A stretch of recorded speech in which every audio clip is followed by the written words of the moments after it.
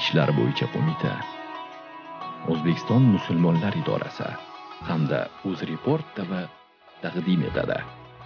Ezgulik yaxshilik xayr saxovat va ibodat oyi ramazon.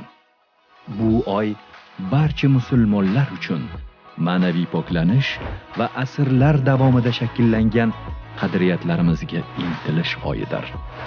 Xush kelding oylarning sultoni. Ramazonning duolar mustajob bo'ladigan saharlik va iftorlik onlarida muborak oy suhbatlari ko'rsatuvi. Har kuni jonli efirda ma'rifiy suhbatlar va ilmiy savol javoblardan bahra oling.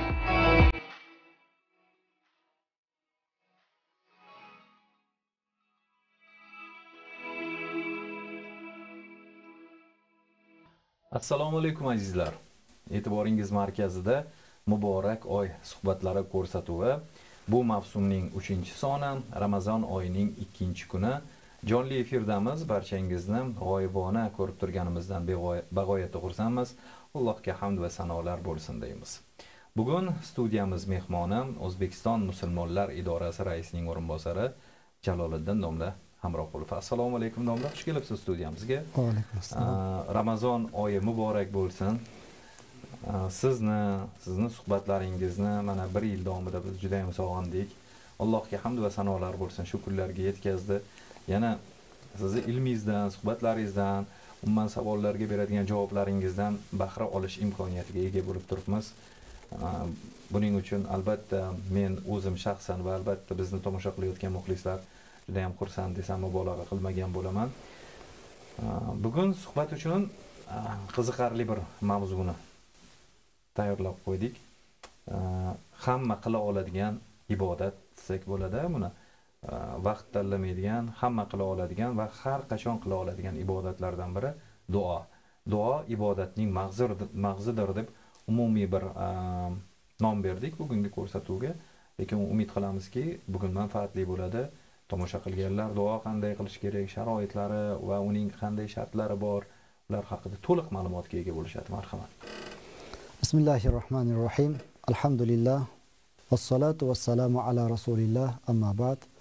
Allohumma la sahla illa ma ja'altahu sahla va in taj'alul hazna izza shi'ta sahla bi qudratika ya arhamar rohimin avvalambor shu fursatdan foydalanib yilga boshlangan muborak oy oylar sultoni ramazoni sharif bilan siz siz orqali aziz jamoatimizni jamoamizni va shu bilan birgalikda bizni kuzatib borayotgan muxlislarimizni mo'min musulmonlarimizni chin qalbimizdan muborakbod etamiz. Yaratgan robbimiz alloh bu oyni barchamizga muborak qilsin. Amin. Alhamdulillah mana bu suhbatlarimiz judayam bir chiroyli deyarli hammamizga manfaatli bir tartibda bo'layotganligidan biz o'zimiz ham mamnunmiz. Va shu bilan birgalikda albatta mana bu yil mana uchinchi sana. Mana shu mavsumni boshladik. Ilohim robbimiz alloh bu mavsumlarni ham avvalgi yillar kabi ham dunyomizga ham oxiratimizga manfaatli bo'lishiga nasib qilsin. Zero men suhbatimni avvalida bu duolarni qilayotganligim albatta bugungi suhbatimiz ayni duo to'g'risida. Shuning uchun man umid qilaman inshaalloh bu yilgi mavsum ham hammamiz uchun manfaatli bo'ladi degan umiddamiz va bundan kelib chiqib aziz muxlislarimizga bu report kanalidan uzoqlashmang.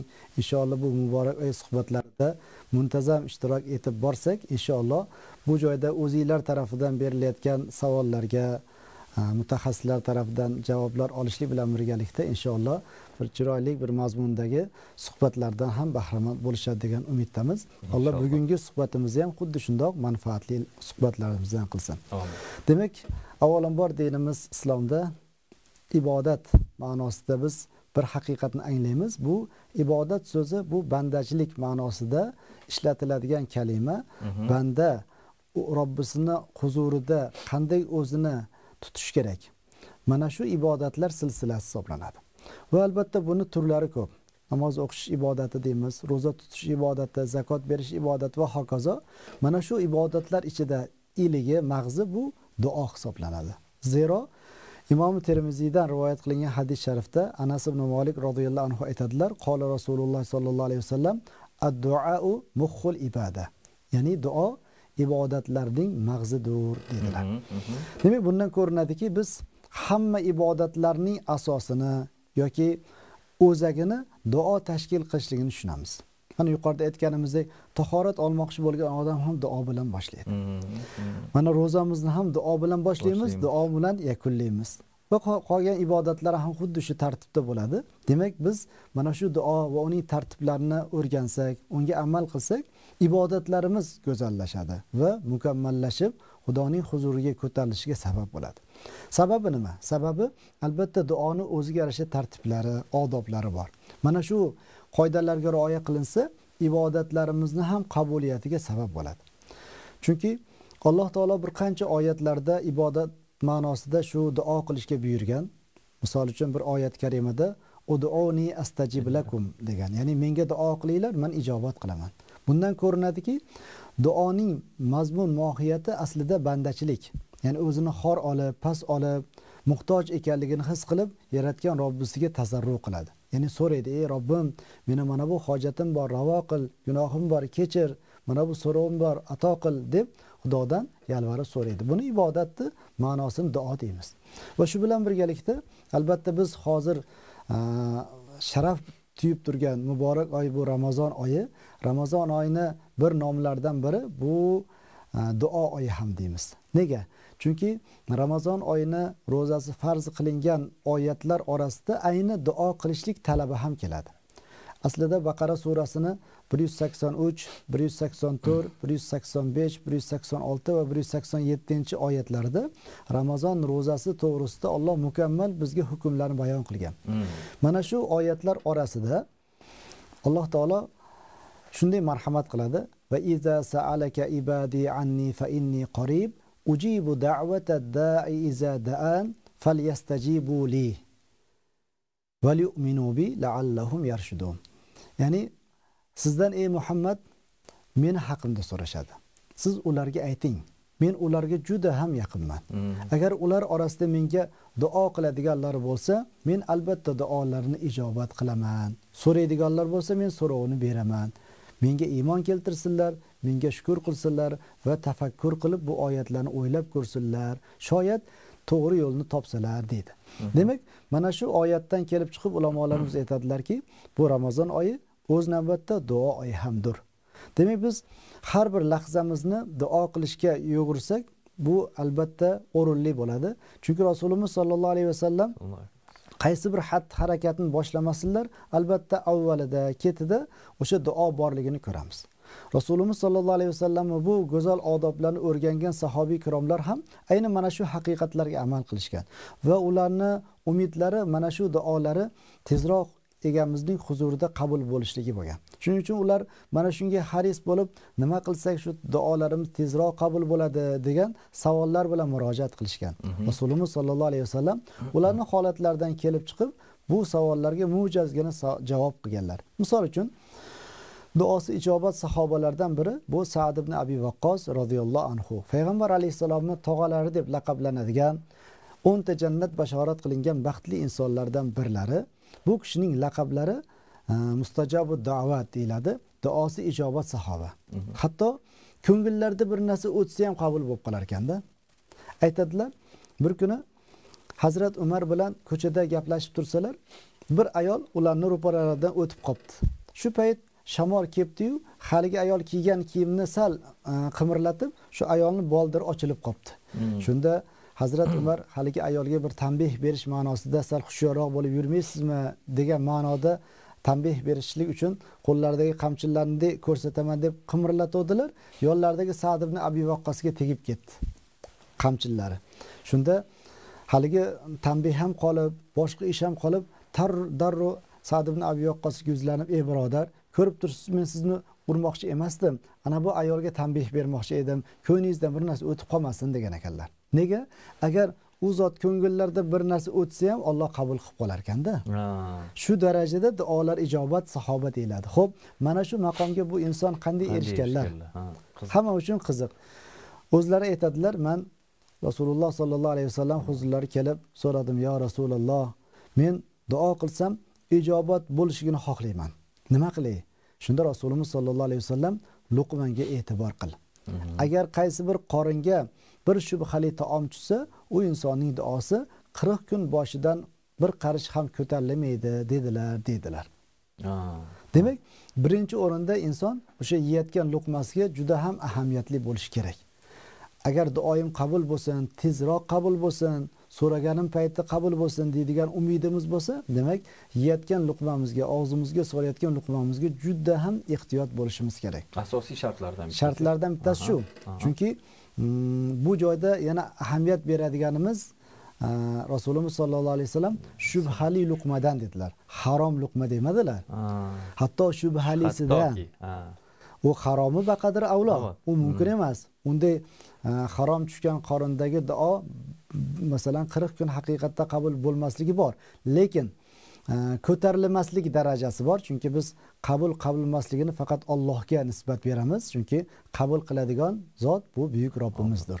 Shunday ekan biz mana shu qabullik yo'llarini qabullik sabablarini izlashligimiz kerak. Mana bitta yo'li o'sha yeyotgan luqmamizga juda ham ahamiyatli bo'lishlik kerak. ikkinchidan yana mana shu mazmundagi bir hadis bor. Bu hadis imom buxoriyda ham keladi. Anas ibn molik roziyallohu anhudan rivoyat qilinadi rasulimiz sollallohu alayhi vasallam bir kuni hazrat anasni huzurlariga chaqirib ya unays bir lafzda ya bunayya ya'ni ya unays degani ey anascham deyilgani. Ya'ni ismlar anas anas o'g'lim anas bolajonim deganida. Yoki ya bunayya degani ey o'g'ilcham ey bolajonim degan ma'noni bildiradi. Shunday deb erkalab turib aytdilarki robbimdan sizga nimani so'rab beray? debdilar endi bu maqomni bu yosh bola qanday topgan? Bu kishining laqablari sirrur rasul yoki zillur rasul deyiladi. Sababi rasulimiz sollallohu alayhi vasallamga ko'p yillar sirdosh bo'lgan va o'z navbatida soyabon soya bo'lganlar. Ya'ni insonni o'z orqasiga ergashib yuradigan soya bo'lganidek doim rasulullohni yonlarida yurganligi uchun shu zillur rasul ya'ni rasulullohni soyalari deyilardi va mashhur laqablari esa xodimur rasul. Rasulullohning xodimlari. Chunki o'sha yoshlik paytlaridan rasululloh sollallohu alayhi vasallam huzurlarida o'n yil to rafiqul aloga ko'chgunlaricha u zotning xizmatlarida turganlar. Shuning uchunmi balkim bu zotni shunchalik yaxshi ko'rardilarki o'zlarini nabiralari imomi husayn imomi hasan va zayd ibn xorisani o'g'illari usoma bin zaydlar qatorida bu kishi juda ardoqlanardida. Hmm. bir kuni o'sha erkalikni qilibdilarda robbimdan sizga nimani so'rab beray debdilar shunda u zotni qarang endi e, ustozlari qanday bo'lsa shogird ham xuddi shunday bo'ladida. Endi ustozlari rahmatli lil olamin bo'lgan payg'ambar alayhissalom. Endi javoblarni qarang yo rasululloh ota onam sizga fido bo'lsin. Qachon shu men duo qilsam ijobat bo'ladigan bo'lib qolsin? degan ekanlar. Hmm. rasululloh u kishidan so'rayaptilar senga nimani so'rab beray u zot so'rayaptilarki men qachon robbimdan bir duo qilsam o'sha ijobat. bo'lsin? Endi rasulullohni javoblarni qarang. Endi bu zot ustozlarga nisbatan go'zal shogird bo'ldilarmi? Endi shogirdni ustozini javobini eshiting. Aytdilarki agar qachoniki duoyingiz ijobat bo'lishini xohlasangiz qalbingizda ollohdan boshqa narsani chiqarib yuboring dedilar. Hmm. ya'ni yina kudurat odamlarni sig'dirmang. Agar qalbida insonni qalbida boshqa biror bir odam tursa u duo tez qabul bo'lmaydi. Chunki unga nisbatan adovat bor kek bor gina bor u qalb hali kasal qalb. Kasal qalb bilan qilingan duo tezda ko'tarilmas ekan. Xolis qilingan duo ijobati tezroq bo'lar ekan. Shuning uchun rasulimiz sollallohu alayhi vasallam anas ibn molik roziyallohu anhu orqali biz ummatlarga duoni tezroq ijobat bo'lishlik sabablaridan birini o'rgatyaptilarki mhm. qalbimizni poklaylik. Mana alhamdulillah hozir ramazon oyi bu ruhiy tarbiya oyi. Chunki biz bu ro'za oyida yaratgan robbimizni haqiqatdan ham yana ham yaqinlashtirish imkoniyati bor. Aniqroq qalbimizni poklash imkoniyati bor. Chunki doim alloh taolo bizni muroqaba qilib turganligini ya'ni kuzatib turganligini his qilamizda shu erta tongdan ya'ni ro'za boshlashimizdan to ro'zani ochgunimizcha bo'lgan muddatda yaratgan bizni qarab turganligini ko'rib turganligini nazorat qilib turganligini his qilamiz. Ya'ni bu taqvo malakasi. Nega? Chunki inson bir panaroq joyga kirib bir narsa yeb olsa hech kim u insonni kuzatmaydi ham nazorat ham qilmaydi birovga kerak emas. Ammo inson bu narsani shu erta sahar paytidan soat millariga qarab turamiz. Bir daqiqa qoldi Hmm. tezlatinglar yopamiz deymiz. Hmm. endi oshadigan paytda voy bir daqiqa qoldi kelaylik endi duo ochamiz deymiz. Nega?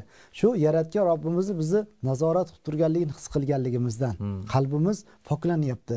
Qalbimizda g'uborlar ketyapti chunki bu oy mana shu bizga ruhiy tarbiya beradigan eng go'zal oy hisoblanadi. Demak duo qilishlikda ham mana shu qalbimiz musaffo bo'lsa duolarimiz tezroq ijobat bo'lishligi bor. Ya'ni bu joyda xolislik borda. Biz hali so'zimiz asnosida mana shu duoni e, tezroq qabul bo'ladigan insonlarning sifatlari bor. Ya'ni shunday insonlar bor ularni duolari tez qabul bo'ladi. Shulardan bittasi ota onani farzandga qilgan duosi.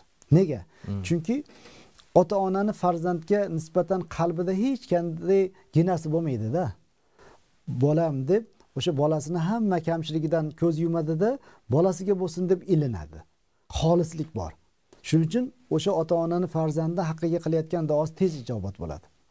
Yoyinki o'sha e, hadislarda keladi musofir odamning qiladigan duosi ham tez qabul bo'ladi. Nega? Chunki musofir odamni qalbida ham bir kamtarinlik borda hokisorlik bor g'urbat borda. Uydagi o'zini yaqinlarini oldidagi huzur yo'q. Bu musofir. Shuning uchun uning yori g'aribni yori Alloh bo'ladi. Shuning uchun hadis shariflarda ham tubo lil g'urobo deyiladi. Ya'ni g'ariblarga jannat bo'lsin. qanday ham yaxshi. Ularni qalblarida Alloh yorida. Shuning uchun demak ularni duolari ham tez ijobat bo'ladi uchinchi e, ya'ni tez ijobat bo'lishligi mumkin bo'lgan insonlardan bittasi shu ro'zador insonlarni duolari ham deyiladi. Chunki ular iftorli paytda qilayotgan duolarini Alloh qabul qiladi. Shuning uchun bizni odatlarimizda e, hozir ham bor. Mana keksalarimiz o'sha farzandlar qurshovida bir dasturxon atrofida jamlanib o'sha iftorlik duolarni qilishadi. Va albatta bu joyda umumiy duo xos duolar bo'ladi. Inshaalloh bu ijobatligiga yaqinroq hisoblanadi. Demak bundan ko'rinadi shu biz bugun o'rganmoqchi bo'lgan duo ibodatlar iligi mag'zi va albatta buni odoblarini inshaalloh o'rganib unga amal qilsak nur ustiga a'lo nur bo'ladi. O'zi mana xalqimiz orasida bir gap borda domla deylik hmm, bu endi shunchaki e, so'zlashuv uslubida ko'p ishlatiladi. Yaxshi gapga ham yomon gapga ham farishta omin deydi. Shuning uchun yaxshi gaplarni ko'proq gapirgan bu gaplar asoslimi? Ya'ni biz duo qilayotganimizda farishtalar qo'shilishib omin deb turadigan e, fursatlar ham vaziyatlar ham bo'ladimi? Va qanaqadir bir alohida makonlar ham bormi? Ya'ni e, shu joyda duolar ko'proq ijobat bo'ladigan. Deylik masalan endi yaxshi bilamiz haramda yoki kabatullohda masjidi nabaviyada ularni darajati yuqori. Unda umumiy e, masalan o'zimizni doimiy hayot tarzimizda demoqchiman juda ham o'rinli va qiziq savol bo'ldi. Shu duolarni ijobat vaqtlari ma'nosida albatta yaratganga vaqt nisbat berilmaydi. Yaratganning dargohi buyuk. Qachon banda robbim desa buyuk robbimiz uch marotaba labbay bandam deydi. O'zi va'da qilgan. Agar banda yaratganga bir qadam tashlasa yaratgan bandasiga yugurib keladi chunki o'zi hadis qudusiyda shunday degan agar banda menga bir qadam tashlab yurib kelsa Mhm, men mhm. bandamga yugurib boraman deydi. Shuning uchun e, alloh taolo duo qiluvchi bandalarni yaxshi ko'radi. Mhm. duo qilmaydiganlardan g'azablanishligini rasulimiz sollallohu alayhi vasallam hadislarda marhamat qilganlar. Endi o'sha vaqt nuqtai nazaridan qaysi paytlarda ko'proq g'animat bilishligimiz kerak degan ma'no bor. Bunda albatta o'sha rasulimizni hadislarda farz namozlardan keyin duo ijobatligi bor. Azon namozidan keyin o'sha takbir bilan namoz orasida tezroq duo ijobat bo'ladi. Mana iftorlik paytida vaqt nuqtai nazaridan tezroq ijobat bo'ladi. Va albatta e, o'sha banda yarim tunda aniqrog'i tunning oxirgi paytida Alloh yer osmoniga tushadigan paytda qiladigan duosi ham tezroq ijobat bo'ladigan fursatlar. Rasulimiz sollallohu alayhi vasallam bir muborak hadislarda sizlar robbularingizga ixlos bilan tasarru bilan duo qilinglar. Sizlarni duoinglar farishtalarning duosiga barobar kelib qolsa ijobat bo'ladi dedilar. Demak bu xalqimizda ham yaxshi gapga ham yomon gapga ham farishta omin deydi deyilgani shu ma'noda aytadi. Shuning uchun e, o'sha sen ham siz ham bir og'izdan chiqadi deyilganidek agar inson doim o'sha biz hozir yuqorida aytganimizdek bu ibodat bo'lgandan keyin faqat samimiyat bilan qilish kerak. Duoibatdan inson o'zini ham o'zgalarni ham saqlashlik kerak. Bu odamlarga va yoki o'ziga yomonlikni so'rashlikdan ham saqlanish kerak. Chunki bu ijobat bo'lib qolishligi bor. Ayniqsa farishtalarni duolariga ijobat bo'lishligi aniqroq masalan o'shanday vaqtlardan yana biri qur'on hatmidan keyingi duolar tez ijobat bo'ladi. Mana alhamdulillah bu yil bir xursandchilik xabar alhamdulillah yurtimizda har yil bo'layotgani kabi jome masjidlarimizda taroveh namozlari unda hatmi qur'onlar bo'lyapti. Mana bu yil bir ming besh yuz yigirma to'qqizta masjidda hatmi qur'onlar bo'lyapti. Boshqa yillardan farqi yigirma yetti kunlik deb belgilangan va har kuni o'qiladigan sahifalari ma'lum qorilarga taqsimlab berilgan. Sababi shu ishtirok etadigan namozxonlar to'laqonli kalomullohni namozda eshitish imkoniyatini topsinlar. Misol uchun bir inson bugun toshkentda ertaga misol uchun farg'onaga borib qolsa o'sha joyda ham bugun tugagan joydan eshitish imkoniyati bor. Ya'ni xatmga tushaveradi ha faqat joy bilan ovoz farq qiladi xolos. Ya'ni qorilarni ovozi bilan masjidni nomi farqlanadi. Va shu bilan birgalikda yigirma yettinchi kuni o'sha xatnini oxirgi kuni deb belgilangan boisi bir paytda o'zida namoz ustida masjidda yaratganga tazarru qilib duo ijobat bo'ladigan onlarda inshaalloh duo qilinsa bu xalqimizga baraka bo'ladi degan umid bor. Chunki millionlab namozxon bir paytda o'zida qur'onni hatmiga duoga qo'l ko'tarsa bu juda katta fazilat bo'ladi degan umidvorlik bor inshaalloh.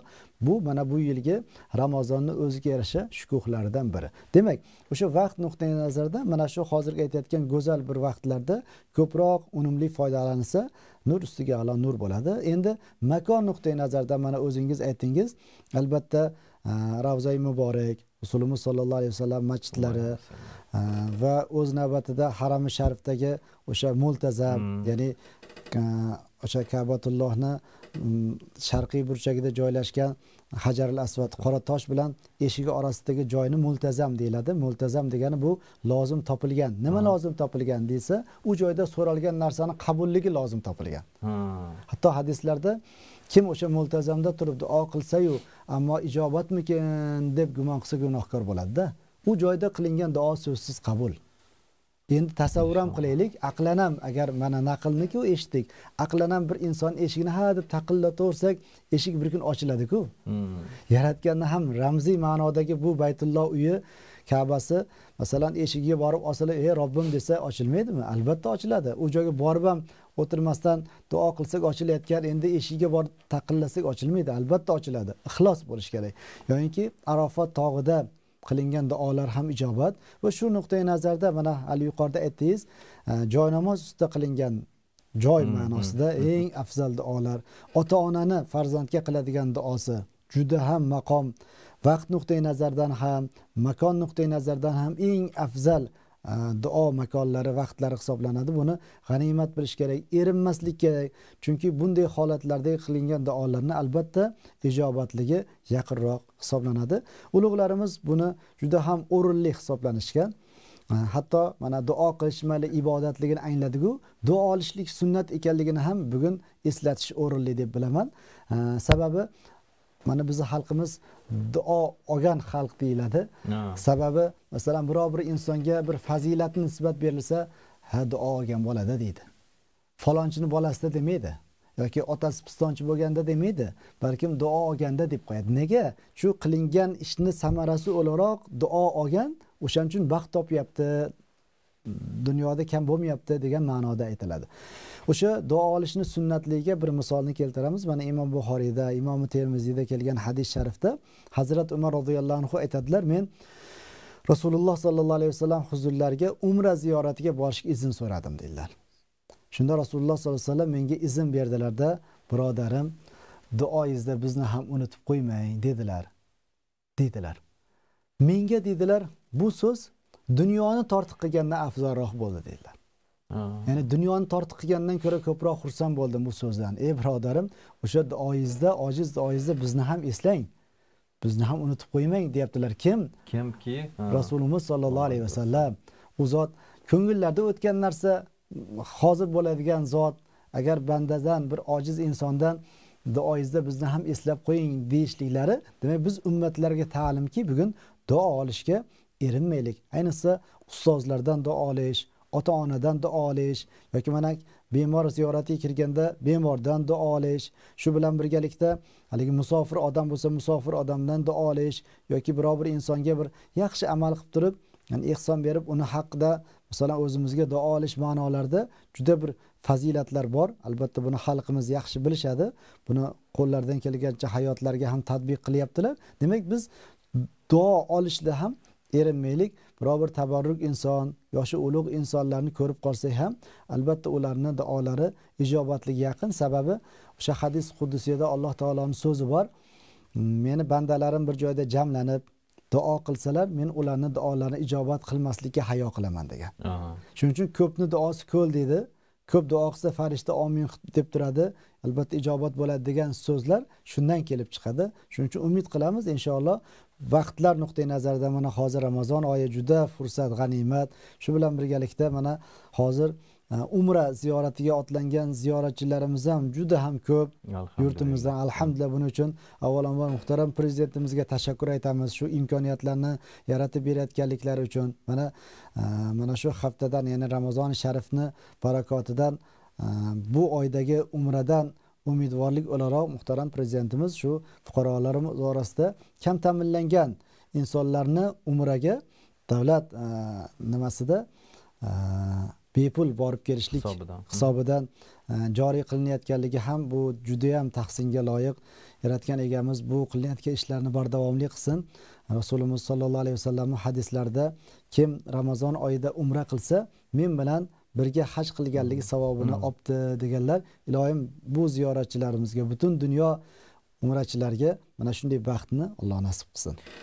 Bizni vaqtimiz tobora oz qolyapti shu duo haqidagi mavzuga oid ikkita aniqlashtiruvchi bir savollarimiz keyin savol javoblarga o'tib ketamiz shu bilan ba'zida eshitib qolamizki duo qilishdan iymanadigan bir insonlar aytadiki man haligi qofiyalarni bilmayman deydi hali chiroyli duo qiladiganlar bo'ladiyu hmm. qofiyalarni keltirolmayman hmm. gulini guliga tushirolmayman deydi hmm. yoki bo'lmasam arabchasini bilmayman deydi arab ya'ni o'sha duolarni bunaqa insonlarga masalan shunga ikki og'iz ozgina aytib o'tsangiz ya'ni duoni qalbdan qilish muhimligi haqidagisi va judayam bugungi kunda bir dolzarb bo'lgan narsa shunga ham bir oydinlik kiritib ketsak mhm. har bir e, dasturimiz dars e, shu jamoatdan keyin qilinadigan duolar bid'at degan bir e, tushunchani ilgari surayotganlar ham paydo bo'lib qolgan mhm. shunga ham qisqacha to'xtalib o'tib ketsangiz juda ham o'rinli albatta Allohga tarjimon shart emas. Avvalambor duoni rasulimiz sollallohu alayhi vasallam ishonch bilan qalban qilishini ko'rsatib til esa uni tarjimoni ekanligini ekrani ekanligini bayon qilganlar va aytganlar o'sha g'ofil qalb bilan duo qilmanglar balkim ishonch bilan yaratgandan so'ranglar albatta so'rovi ijobat bo'lganligiga o'zinglar ham ishoninglar deganlar. Chunki mana shu umumiy ma'noda duolar uch xil e, holatda qabul bo'ladi. Birinchisi so'ragan narsani o'zini berilishlik orqali. Ikkinchisi biror bir baloga parda bo'lishligi. Uchinchisi qiyomatda ibodat ma'nosida savob olishligi. Demak ko'rinib turibdi uchala holat ham qabullik alomati. Shuning uchun rasulimiz sollallohu alayhi vasallam banda duo qilsa shoshilmasa albatta qabul bo'ladi deganlar. Shunda sahobiy ikromlar yo rasululloh sollallohu alayhi vasallam duoda shoshma shosharlik shoshqaloqlik nima deyishganida duo qilyapmanu hech ijobat bo'lmayaptida deyishligidir deganlar. Demak bu o'sha qalbni hozir qilmasligida duoda til aylanishlik bilan birgalikda qalb ham hozir bo'lishlik. kerak shu shuning uchun boshlarimizni quyi qilib yaratganni huzuriga dargohida qo'limizni ko'tarib turganligimizni his qilgan holatda albatta so'rasak yaratgan egamiz so'rovlarimizni albatta beradi. Endi shu o'rinda yana o'rinli savol. Mana masjidlarimizda ba'zi bir yoshlarimiz shu jamoat bilan birga duo qilinadigan o'rinlarda turib ketadilar. Ba'zilar uzrli holatda shoshib ishlar uchun chiqib ketayotganlargaku mayliku ammo vaqtlari bemalol bo'lgan insonlar bu ishlarni shu jamoat bilan birga qilsalar juda ham afzal bo'ladi. Chunki mana imom buxoriyda kelgan hadis sharifda mhm. abu hurayra roziyallohu anhu aytadilar men rasululloh sollallohu alayhi vasallam. bilan bir ulovda ketayotganimda rasululloh menga qarab mm, yerdagi ollohning jannat bog'larini aytaymi dedilar men ayting yo rasululloh dedim. Ular masjidlar dedilar. Ha. Ya'ni masjidlar ollohni yerdagi go'yo jannat bog'i ekan. Bog'lari. Ya'ni ramziy ma'noda aytilyapti. Unda sayr qilishni ham o'rgataymi dedilar. O'rgating yo rasululloh unda zikr tasbeh qilishlik dedilar dedilar demak mana shu mana masjidlarimizda farz namozini ibodatlarimizdan keyin tasbehlarni jamoat bilan aytamiz. Undan keyin tilovat qur'on qilamiz. Keyin umumiy duoga qo'l ko'taramiz. Mana hozir aytdik hamma fazilatlar bir o'rinda jam bo'lyapti. Makon go'zal ibodat farz ibodati. Ana undan keyin qilingan duolar albatta ijobat bo'ladi. Bo'lib ham ko'pchilik bo'lib qancha ko'p bo'lsa albatta ijobatli yaqin bo'ladi. Shu o'rinda anas ibn molikni odatlarini aytib qo'ymoqchiman. Hazrat anas roziyallohu anhu qur'oni karimni xatm qilsalar oxirgi xatm duosiga qarindoshlarni jamlar ekanlar. Hmm. shunda qarindoshlari hayratlanib so'rar ekan ey anas siz mehnat qilib vaqt ajratib allohni kalomini xatm qilasizu nega bizga bu duosiga sherik qilasiz? desalar ko'pchilikni duosini olloh tezroq qabul qilishligidan umidvorman derkanlar. Demak bizni hammamiz ham bandamiz. Ehtiyojimiz bor. Mana shu ehtiyojimizni unutmasligimiz kerak. Hatto anas a, hatto hazrat umar roziyallohu anhuni hayotlaridan bir voqea aytib beraman. U kishi a, qalblari bir ozgina bir dunyo ishidan bir siqilsa darrov ikkita do'stlarni oldilari kelarkanlarda bir ozgina o'zlarini o'sha olamga sayr qildirib rohatlantirar ekanlar. Ya'ni ikki do'stlari kim? Birlari payg'ambarimiz muhammad sallallohu alayhi vasallam ikkinchilari abu bakr siddiq roziyallohu anhu bular. Ikkilari ham a, mana shu payg'ambar alayhissalom va abu bakr siddiq ham vafot etganlaridan keyin ularni o'rinlariga ya'ni o'sha abu bakr siddiqni o'rinlariga musulmonlarga rahbar bu hazrat umar bo'lganlar. Hmm. bir kuni kelsalar o'sha qabr tepasida bir arobiy insonni duo qilayotganini ko'ribdilar. Lekin juda ham berilib duo qilayotgan ekan haligi yigit. Arobiy degani sahroda yashaydigan Mm, mm, mm. insonni aytadi. Haligi insonni berilib duo qilayotganlarini ko'rib nimani so'rayotgan ekan debdilarda sekin yonlari kelib quloq tutsalar haligi arobiy inson bir go'zal bir samimiyat bilan duo qilayotganmish. Ey robbim bu zot deb qabrni ko'rsatibdilar. Ya'ni rasululloh sollallohu alayhi vasallam qabrlarini muborak qabr shariflarni bu zot seni do'sting. Shayton esa seni dushmaning. Men esa seni bandangman. Ey robbim men sendan duo qilaman. Bu duolarimni ijobat qilsang do'sting xursand bo'ladilar dushmaning xafa bo'ladi. Bandang esa najot topadi. Hmm.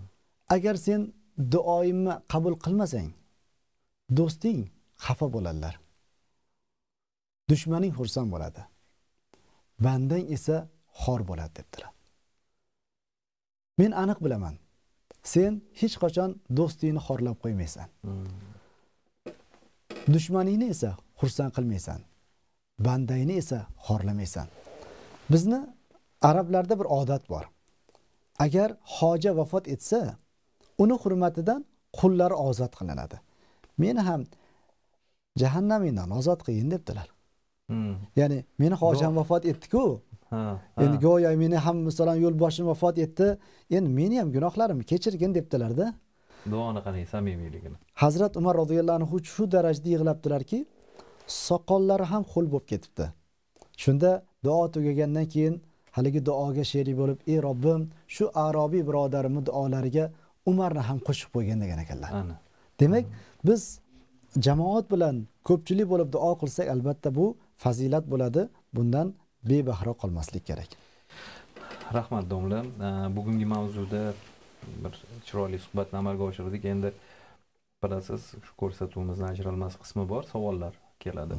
Ba'zi savollarimiz takroriy tuyulishi mumkin. Endi bu yilgi savollar hisobidan shuning uchun mm, shu ba'zilariga takroriy bo'lsa qisqa qilib ha yo'q bo'ladi bo'lmaydi qilib javob berib ketsangiz ham manimcha ko'proq ulguramiz bo'ladi. hozir. Bizda to'rt besh daqiqa vaqt qolibdi.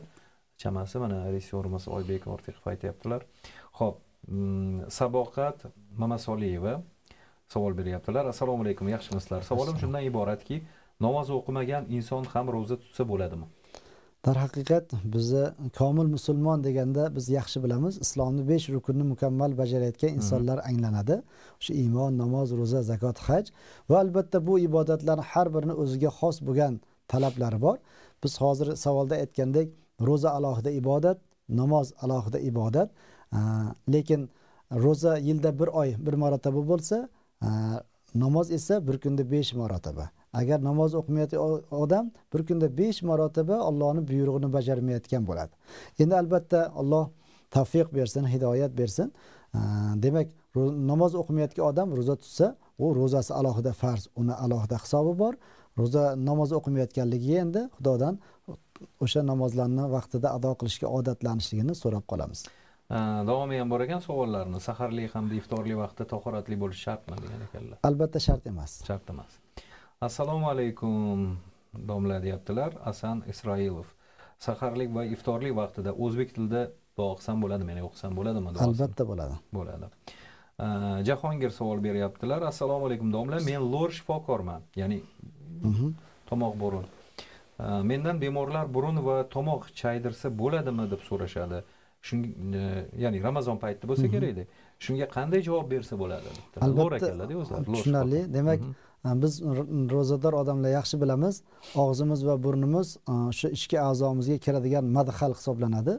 Demak mana shu joydan o'tadigan narsalarga ehtiyot bo'lish kerak. Shuning uchun tahorat olayotganda ham o'ta haligi mubolag'a olib borib o'sha og'izlarni g'arg'ara qilmaslik burunga suv olganda ham mazmazani judayam mubolag'a qilib yubormaslikni ko'rsatiladi. Sababi o'tib ketib qolsa ro'za ochilib qoladi. Chunki abbos ibn abbos roziyallohu anhuni so'zlari bor.